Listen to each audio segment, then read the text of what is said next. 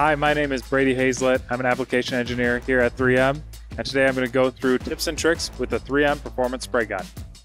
When connecting the nozzle to the 3M Performance Spray Gun, ensure that you slide it over the needle and press firmly into the head to make sure it's bottomed out before you rotate the collar. If it's not bottomed out, you'll notice you can actually no rotate that nozzle. So to avoid that, bottom out that nozzle before you rotate the locking collar all the way to the stop and it ends up in that X. After the nozzle is attached to the gun and you're attaching to the PPS cup, hold the spray gun by the nozzle. And that helps to ensure that you get all four points connected from the nozzle to the cup.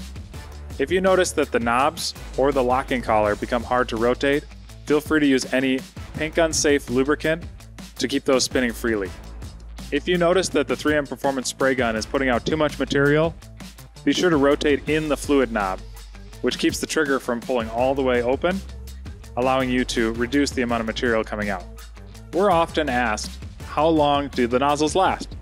And I would recommend if you notice any pattern degradation or you start to see the beginning of a leak at the needle tip or near the trigger, then it's time to change nozzles.